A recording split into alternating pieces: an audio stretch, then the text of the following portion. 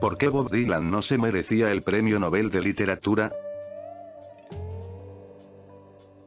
Hola. Es hora de que hablemos de este cantante que ocasionó polémica en el año 2016, ya que surgieron voces críticas en contra del otorgamiento del Premio Nobel de Literatura a él. Este cantante de siete décadas de trabajo, donde en su mayoría su trabajo ha sido alabado pero al momento que la Academia Sueca confirmó que él ganó su Premio Nobel pues surgieron voces críticas. Y aclaro estos no son mis argumentos, solo expongo los argumentos, de personas, que no les pareció que él debía ganar el Premio Nobel de Literatura. Así que comencemos. Comencemos sobre que las letras de Dylan son hermosas e inspiran pero no son tan profundas, no poseen elementos que genere al oyente que realicen un trabajo profundo de análisis de la realidad o el mensaje que el cantante desee transmitir ya que hay que admitirlo no son tan profundas como uno esperaría. No posee la profundidad de Gabriel García Márquez o Gabriela Mistral o Ernest Hemingway o Albert Camus, ya que ellos en sus obras lograron profundizar la idea que deseaban transmitir, y obligar al lector en realizar un trabajo de análisis y conversión sobre lo que leía. Aparte la música, poseen sus propios premios como los Grammy, o los premios Lo Nuestro.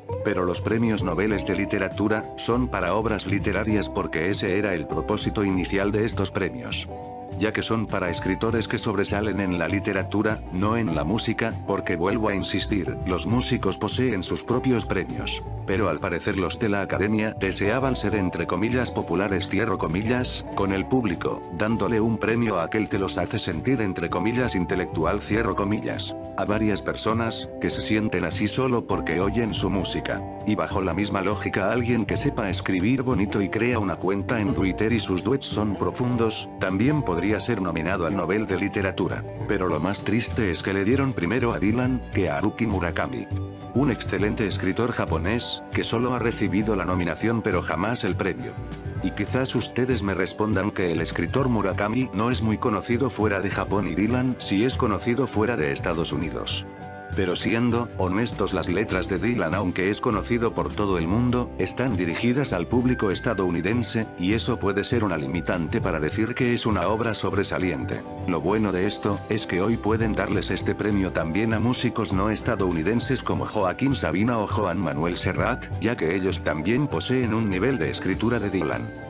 O quizás los países que nominen a sus escritores a este premio, hoy busquen a sus Dylans porque pueden que los tengan pero quizás ni los busquen ya que no posean ese nivel de popularidad. Y para terminar quizás la nostalgia ayudó mucho, que las personas aceptaran que el premio se lo otorgaran a Dylan.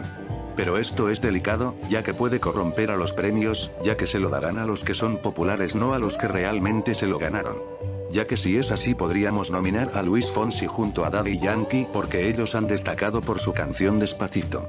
Ahora entienden por qué no se lo deben dar por popularidad. Bueno ya sea que estemos de acuerdo o no, ya se lo dieron. Esto sería todo, este es un tema que genera mucho debate. Pero tú, ¿qué opinas?